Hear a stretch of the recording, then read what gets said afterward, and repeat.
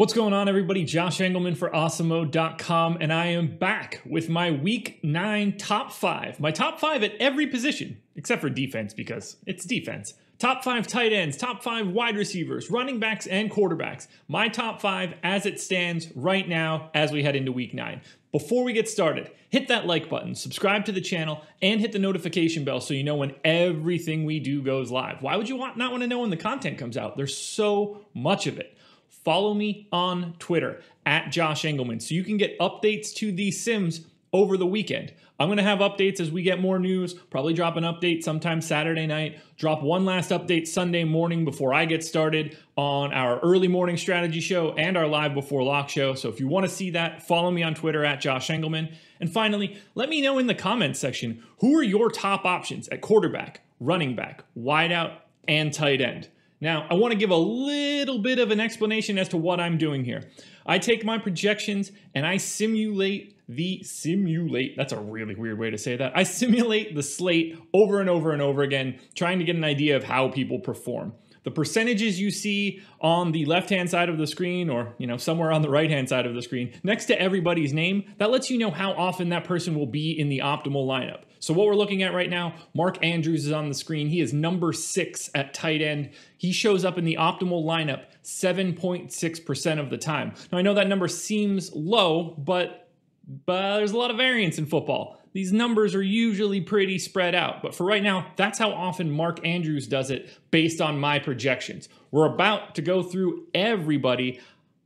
I'm excited to take a look at it. I've got a couple guys that I have my eye on already. I'm excited. Let's start it off right now. Top five tight ends. Before we sneak into that top five, we're going to take a look at the bottom of the top 10 for tight ends. That was really difficult to say, but you guys get it. Jimmy Graham, number 10. Mike Gesicki, number 9. TJ Hockenson, number 8. Jonnu Smith, 7. And as you guys can see, coming in, number 6, Mark Andrews. He is on the outside looking in. Top 5 starts now. And at number five, we've got Noah Fant, $4,600, projected for 12.5 fantasy points, gets a date with the Falcons. Now, the Broncos are five, four point underdogs, 50 point total. What you're looking for here is the fact that the Falcons have the 29th ranked defense. That looks great. You're not going to get a lot of highs out of Noah Fant, but that's not really what you're looking for at 4,600. He's in the optimal lineup 10% of the time. He goes north of 30 fantasy points 2% of the time. There, there is a world out there where things get crazy, but for right now, Noah Fant just feels like a nice, normal, everyday tight end option. Now, number four, we've got Hayden Hurst, a little bit better of an option if you're trying to save some salary. Same exact game. Now, the Falcons are four point favorites. Again, we still have that 50 point total against the, uh, I almost called them the Nuggets, against the Broncos. Hurst just gets there a little bit more frequently because the Falcons look a little bit better. Denver's defense actually against the pass has been better than the Falcons this season. I'm not going to overreact too much to simple defensive stats, so I'm going to look to Hayden Hurst as my number four tight end. Number three, we're heading to LA. Formerly the Los Angeles Raiders, now the Las Vegas Raiders, tight end Darren Waller, 5,800. This is a guy that can put up an actual big performance. Uh, Chargers have been pedestrian on D, 18th against the run, 12th against the pass. I think Waller gets to the optimal lineup just north of 12% of the time, has the ability to go for 30 plus, so you could see a couple t- touchdowns here. Doesn't bust all that often. Less than 10 fantasy points, 12% of the time. Not ideal. That, that one's going to sting at 5,800, but it's not going to kill you, and it doesn't happen that frequently very steady. Love Darren Waller this week. Now, when I started this, I just assumed Travis Kelce was going to be number one. Kansas City Chiefs, 10 and a half point favorites against Carolina, 53 point total. But 7,200 is a big time price tag for Kelce, and there's enough value out there at tight end this week that you don't have to necessarily go straight to Kelce. Now, Kelce is on a very different level than the rest of the tight ends that are listed. Um, he has the opportunity to go real big, and the Panthers defense has not been all that great so far this season. Kelce can go for 30 plus 11% of the time. Very, very hard for him to bust, barring an injury. Um, he is in the optimal lineup 12.6% of the time, just nudges out Darren Waller. But the most important thing is who's number one? That would be Hunter Henry. I love him as a salary savings only $4,000. You cannot beat that. Gets the date with the Raiders. I tried it again. I don't know how well it worked. Uh, Chargers, one point favorite, 52 point overall total. Raiders defense has been dreadful this year 31st against the run, 27th against the pass. You're not going to get monstrous performances out of Hunter Henry, but he's not going to kill you either. I like getting there. 13.4% of the time, Hunter Henry is in the optimal lineup at tight end, and that is almost solely because of his price. He's just simply too cheap for what you get. He will help you pay up for the true studs at running back and wide receiver this week. Now we're off to the top 10 wide receivers. Coming in at 10, Adam Thielen. Number 9, DeVante Parker. Number 8, Justin Jefferson. Number 7, Stefon Diggs. Two Vikings and a former Viking. Number 6, DeAndre Hopkins. He is on the outside looking in, 8,200. I'm more interested in the top 5 though, but certainly the bottom of that top 10 list, list looks pretty, pretty good. Now, coming in number five, we've got Robbie Anderson, $6,300, gets the date with Kansas City. We know or we assume that Carolina is going to be passing a ton, 10.5 point underdogs, 53 point total.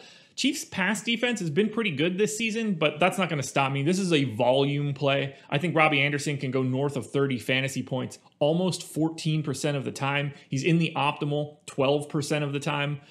It's just so much opportunity with the Panthers playing from behind.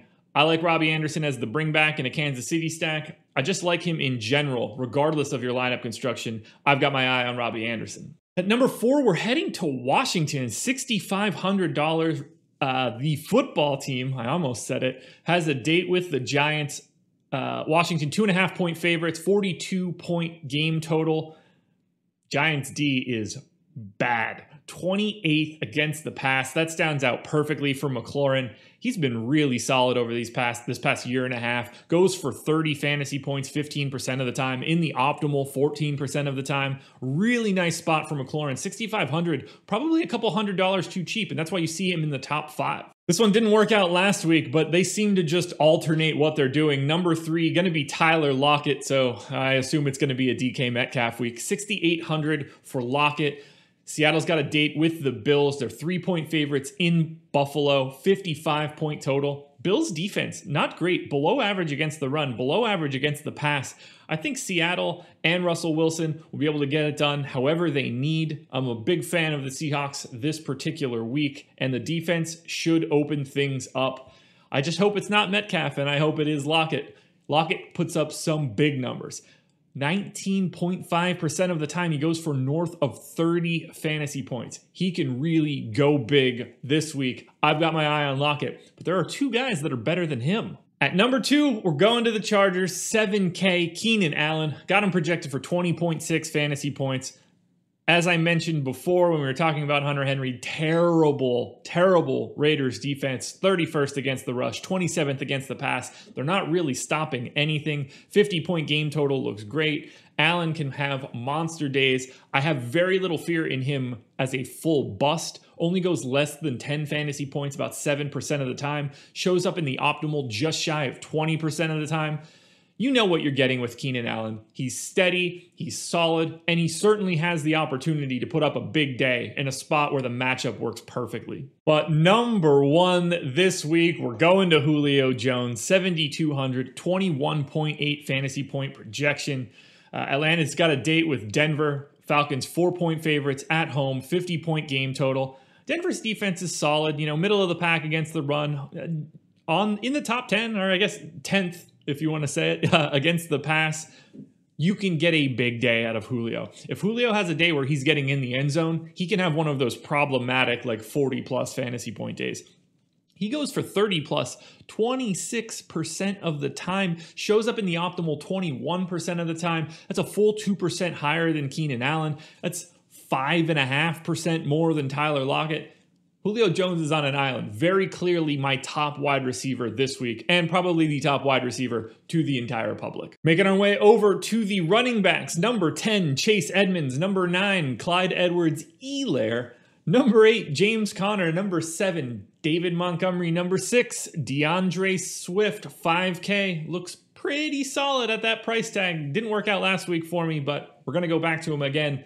But what we're worried about, the top five. Number five, we've got Derrick Henry, 7,900. I, I assumed he would be a little bit higher, 20 fantasy point projection, but yeah, six and a half point favorites, a sub 50 point game total is fine. You expect the game script to work well for Henry. The problem is the Bears are good. Uh, 11th, uh, their defense is 11th against the run, 5th against the pass. So we're talking about a top 10 defense here look, you're waiting for Derrick Henry to break one. Uh, he could have a day where he's got 20 carries for 80 yards, and you're like, man, Derrick Henry is a bust. And then all of a sudden, you get the alert on your phone that he just picked up an 80 yard t- touchdown, and you're like, oh, okay, Derrick Henry is now essential. I think he shows up in the optimal 12.8% of the time. I think there are just better options to pay up for, but clearly, Derrick Henry is going to be a big part of my weekend. But first, I think you could pay down a little bit. 7K James Robinson, just shy of a 20 point fantasy point projection, gets a date with Houston. I think I've said gets a date a lot. That's got to be really annoying for everybody. We'll, we'll try to we'll try to curb that problem moving forward. Jags, seven point underdogs, 50 point game total. The appealing part here is that the Texans defense is terrible. 27th against the run, 23rd against the pass. That's just a benefit to Robinson clear across the board. He can really rack up some points in this matchup. 16.5% chance of going for north of 30 shows up in the optimal 15.7% of the time. You can see the gap between Robinson and Henry. We took a step up in tiers for this week. I love Robinson, three to go. Now, number three, we've got Josh Jacobs. I understand he's a little dinged up missed Thursday's practice. I'm expecting him to play. He's 6,300. He's just too cheap. 18 fantasy point projection. It's a really even matchup against the Chargers. Uh, 52 point game total looks lovely. Chargers defense against the run ranks 18th, so it's not anything you're super scared about. He just shows up in the optimal 16% of the time. That's what happens when you get a guy priced right around the average. That $6,300 price tag works in any sort of roster construction. If you're trying to go heavy stars and scrubs, you can still get a guy in the middle for that lineup. If you're trying to be relatively balanced, 6,300 is going to work perfectly. I think Jacobs fits no matter what you're trying to do, and that's why he shows up at number three. Oi, number two, David Johnson, a guy that I roster every week, and it feels like it's never a benefit, but I'm going right back there again because he's 5,600. 16.8 fantasy point projection, he has to head to Jacksonville. Jacksonville's terrible. Houston, seven point favorites, 50 point game total. Jags defense, 23rd against the run in DVOA, dead last against the pass. And you know that David Johnson is going to be involved in both sides of the coin. He doesn't have monster days, only goes north of 30, 9.4% of the time.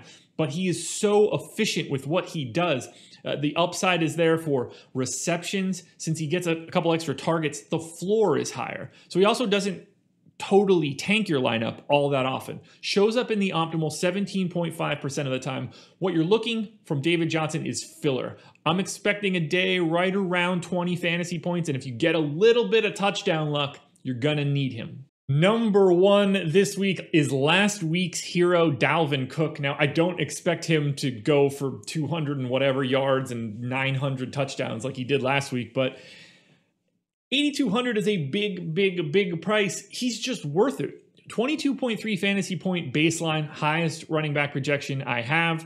Gets a positive game script, slight favorites against the Lions. 52 point game total looks great. Lions defense 21st in DVOA. All signs point to a monster day out of Cook. If the touchdown luck is there, you're thrilled. Even if it's not, you're assuming you get a couple receptions, you know, 30, 40 yards, 100 yards rushing, and you're happy enough. And guys like Hunter Henry at the tight end spot make it easier for you to get to someone like Dalvin Cook for 8,200. He's a top running back on the slate. He's expensive, but I think he's worth it. And finally, we hit the top 10 quarterbacks. We've got Tua at 10, Kyle Allen at 9, Pat Mahomes at 8, Jake Luton? Luton? Probably, I don't know if that's a long U or a short U or however you're supposed to describe U's, but Jake's showing up 7th. Number 6, Derek Carr, just on the outside looking in. As I've mentioned in previous videos, I'm not super worried about quarterback. It's a pretty flat position for me. I generally let my running backs and my wide receivers and my tight ends dictate my quarterback exposure a little bit more. But if we're talking about playing one lineup or three lineups, you do want to focus a little bit on who's throwing the ball. These are the top five guys, in my opinion. Number five, Russell Wilson, 7,600. Seattle gets Buffalo. Slight favorites, which is nice, in Buffalo. Monster line, 55 points. They're bad against the run, they're bad against the pass. Wilson can go for 30 fantasy points or more 29% of the time. This dude feels ultra safe. It feels really difficult for Russell Wilson to have a bad game. I have no problem going here. Clearly a great pairing with Tyler Lockett, also making my top 10. No problem going to both of those guys. Number four, Deshaun Watson, clear pairing with DeAndre Hopkins. Oh, wait, no, he's not on the team anymore. They didn't want their best quarterback to have an incredible pass catcher. Really smart. 7,100 for Watson, gets the the date. I couldn't help myself. I was already saying it. I got to keep saying it. Seven point favorites, 50 point total. The worst pass defense in the league by DVOA. That's the Jags. Watson's got the perfect matchup. You can't ask for anything better here. Goes for north of 30 fantasy points 24% of the time. But as you can see, he's only in the optimal in the sim 6% of the time. That's why you don't want to get too hung up on quarterback, but for right now, he's very clearly one of the best options. Number three, we're going to Justin Herbert, 6,800, 23 fantasy point projection, 52 point game total, and the 27th ranked pass defense for the Raiders. 24.5% chance of going north of 30. You can see the step up. 8.6% of the time, Justin Herbert is in the optimal. That's a big gap between him and Watson. There's a tier here Herbert starts that tier. He's number three, but there are two better options. I guess if I hold two twos up, that's four, but I meant just two. Number two, Kyler Murray, 7,800, 25.3 fantasy point projection, taking on the Dolphins. They're at home, they're favorites, just shy of a 50 point game total. But the piece that I like the most, you, you look at it off on the surface and you're like, wow, the Dolphins are pretty good against the pass. They rank third. And, you know, that is a little scary. But Kyler Murray can run. And the Dolphins defense ranks dead last in rushing DVOA. This is going to be a monster day for Kyler Murray on the ground. If he can get a rushing touchdown, even better. Shows up in the optimal 9.7% of the time. Kyler Murray, number two for the week. Now you get an excellent pairing with DeAndre Hopkins. Who's number one? At number one, 10% of the time in the optimal 7K. We're going to Josh Allen, projected for 24.6 fantasy points. This total is huge. It's possible the Bills are playing from behind against the Seahawks, and that should be a bit of a benefit because the Seahawks pass defense ranks 30th. Not very good. A bad pass defense with a monstrous total. Quarterback likes to sling it, does like the run too, which makes me a little nervous. I'm hoping that he can still pick up a little bit of rushing game, but I think Allen gets there with the pass. And if they have to play from behind, it's not ideal. Uh, I'm not in love with Allen as a quarterback. But if they're playing from behind, the fantasy points will be there. And that's all that matters to me. I don't care if Buffalo wins the game. I just want to know that Josh Allen has a big day. And the blueprint is there. Mild underdog, big total, bad pass defense. 10% of the time in the optimal, Josh Allen, the number one quarterback this week. Alrighty, folks, that will do it. Those are my top five quarterbacks, running backs, wideouts, and tight ends on DraftKings for week nine in the NFL. One last time, hit that like button, subscribe to the channel, hit the notification bell so you know when this and everything goes live. Follow me on Twitter at Josh Engleman so you can get updates to these sims as we get closer to lock. I'll definitely do an update sometime Saturday night, and I'll have one last, last update out Sunday morning before I go live on our strategy show and our NFL Live Before Lock. Best of luck this Sunday. I'm excited. I hope you are. I'll see you guys next Friday for Week 10's Top 5.